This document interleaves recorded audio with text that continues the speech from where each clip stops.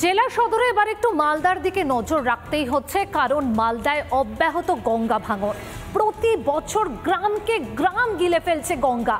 ভিটে মাটি হারিয়ে যা যাবরে রূপান্তরিত হয়েছেন বাসিন্দারা। কিন্তু এক্ষেত্রে প্রশাসনের ভূমিকা কি? হাত গুটিয়ে বসে থাকা ছাড়া আর কিছুই করে না বলে অভিযোগ অসহায় পরিবারগুলোর। কেউ একবার ঘুরেও তাকান না মানুষগুলোর দিকে। মানিকচকের গোপালপুরের একাংশ চলে গিয়েছে গঙ্গার গ্রাসে। প্রায় দেড় বছর আগে উত্তর হুকুমতলায় বেশ কিছু বাড়িঘর চলে গিয়েছিল গঙ্গার গ্রাসে। ভিটে, মাটি হারিয়ে ভবানীপুরের নয়া হুকুমতলায় চলে আসেন সকলেই। এখানে পঞ্চাশ থেকে ষাটটা পরিবার বসবাস করে। যে এলাকার ছবি দেখাবো, এখানে যারা বসবাস করে তাদের বাড়ি গঙ্গা ভাঙনে বিলীন হয়ে গেছে, তলিয়ে গেছে এবং তারপর তারা এখানে অর্থাৎ এই ভবানীপুরে এসে নতুন হুকুমতলা তারা এইখানে, তারা বসতি করছে বসবাস করছে। কোনো মতে মাথা গোজার ঠাঁই তৈরি করলেও তাতে না আছে বিদ্যুৎ সংযোগ, না আছে জলের লাইন। তীব্র গরমে অতি কষ্টে বসবাস করছেন এই পঞ্চাশ থেকে ষাটটি পরিবার। গরমে হাঁসফাঁস অবস্থা, অসুস্থ ব্যক্তি আর বয়স্ক মানুষদের। বিদ্যুৎ না থাকায় কুপি বা লণ্ঠনের আলোতেই পড়াশোনা করতে হচ্ছে পড়ুয়াদের। একাধিকবার বিদ্যুৎ দপ্তরে গিয়ে আবেদন করলেও সুরাহা হয়নি বলেই অভিযোগ। এই হাত পাখায় আমাদের এখন সম্বল দাদা। এটা ছাড়া আমাদের আর কিছু করার নাই। ওই লোকের গাছে তলে তো বসে থাকছি সব সময়। অন্ধকারে তো ভয় লাগছে। বলছি আমরা কারেন্ট চাই। আমাদের বাড়ি নদীতে পড়ে গেছে।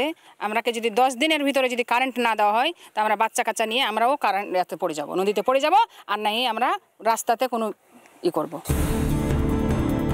ওই পরিবারগুলির কাছে বৈধ কাগজপত্র না থাকায় বিদ্যুৎ সংযোগ দেওয়া সম্ভব হচ্ছে না বলে সাফাই বিদ্যুৎ দপ্তরে। আমি সেলোকে বলেছিলাম যে আপনি লিগাল ডকুমেন্ট সাবমিট করুন যেত তাড়াতাড়ি আপনি লিগাল ডকুমেন্ট সাবমিট করবেন আমি এক সপ্তাহের মধ্যে বা দশ দিনের ভিতরে কানেকশন করে দেবো। কিন্তু আপনি লিগাল ডকুমেন্ট না সাবমিট করলে আমি কী করতে পারব?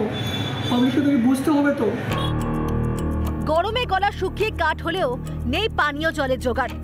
অনেক দূরে সাবমার্সিবল পাম্প থেকে জল বয়ে আনতে হয় অসহায় পরিবারগুলোকে।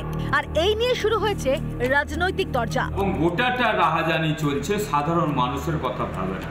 কদিন আগে বিদ্যুৎ মন্ত্রী বলেছেন অন্ধকারের পশ্চিমবাংলায় জায়গা নেই। এসে দেখো পঞ্চাশ ষাটটা পরিবার এখনও দেড় বছর থেকে সেখানে ইলেকট্রিক পৌঁছায়নি। এইসব কারণে বিদ্যুৎ দপ্তরের দেওয়ার কোনো অসুবিধা নেই। বৈধ কাগজপত্র থাকলে বৈধ কাগজপত্র না থাকলে বিদ্যুৎ দপ্তর দিতে গেলে অসুবিধায় পড়বে। বিজেপির কাছে গিয়ে বিজেপি নেগেটিভ ছাড়া পজিটিভ কোনো কাজ করে না। সেজন্য আজকে আঠেরো থেকে বারো বিধানসভায় সাতাত্তর থেকে এখন যে এসছে সত্তর। এই পরিবারগুলোর দিকে কেউ কি মুখ তুলে তাকাবে না? হাত জোর করে প্রশাসনের কাছে সাহায্য প্রার্থনা বাসিন্দাদের। যারা অসুস্থ হয়ে পড়ছে তাদেরকে এইভাবে আমবাগানের মধ্যে তাদেরকে এইভাবে খাটিয়া করে তাদেরকে এখানে বসিয়ে তাদের রীতিমতো বাগানের আম গাছের নিচে তাদেরকে এইভাবে সেবা যত্ন করতে হচ্ছে। কবে এই এলাকায় আলো ফিরবে? কবে এই এলাকার মানুষ গরম থেকে কিছুটা হলেও স্বস্তি পাবে? সেটাই এখন প্রশ্ন। মালদা থেকে দীপঙ্কর গোস্বামী, রিপাবলিক বাংলা। নকল শিক্ষক ক্লাস করাচ্ছেন আর বাড়ি বসে বেতন তুলছেন আসল শিক্ষক। তিনি আবার জেলা পরিষদের তৃণমূল সদস্য। এক মাস দু মাসের ঘটনা এটা নয় অভিযোগ বছরের পর বছর, এভাবেই নাকি চলছে কার চুপে? ঘটনায় জোর শোরগোল পূর্ব মেদিনীপুরের চণ্ডীপুর ব্লকের ভগবানখালী নতুন প্রাথমিক বিদ্যালয়। আর এই খবর সামনে আসতেই অভিযুক্ত শিক্ষককে শোকজ করলেন ডিআই। দেখুন।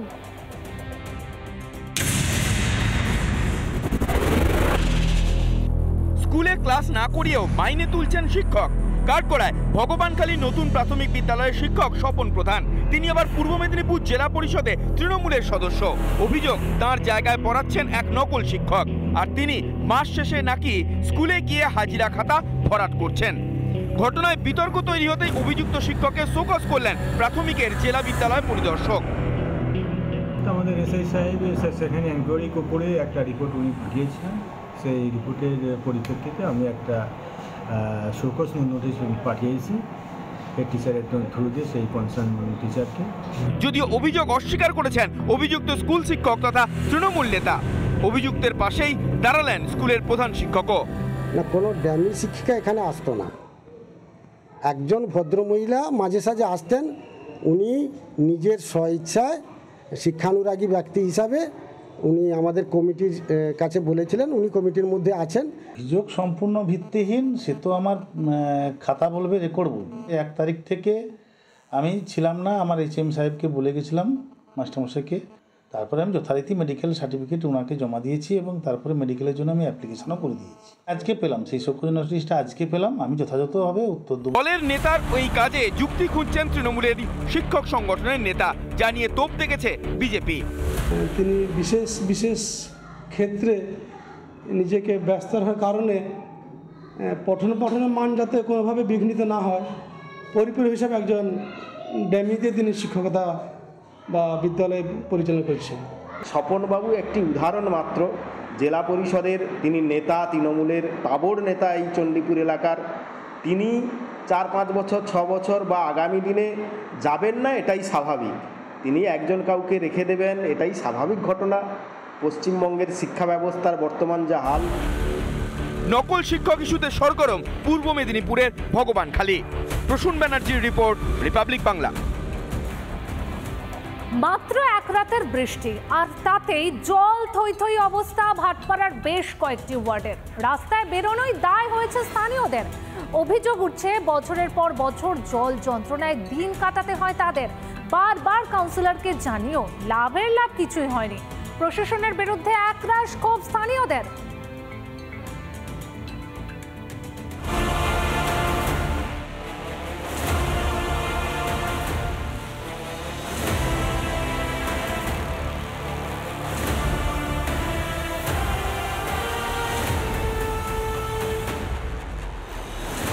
থেকে টানা বৃষ্টি।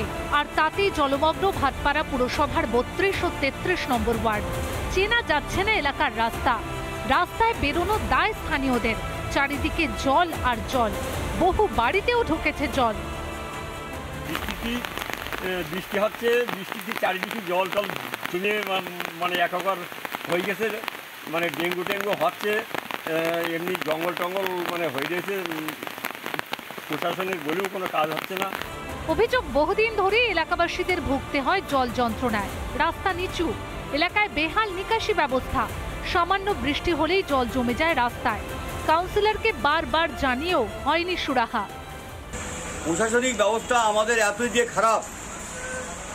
ছোট ছোটো বৃষ্টিতেও রাস্তাঘাটে গ্রামে কোনো ড্রেনিং ড্রেনের ব্যবস্থা নেই জল নিকাশি কোনো ব্যবস্থা নেই। প্রশাসন আমাদের কোনো সাধারণ মানুষের জন্য ভাবছে না। কবে মিটবে জল যন্ত্রণা? সেদিকে তাকিয়ে স্থানীয় বাসিন্দারা।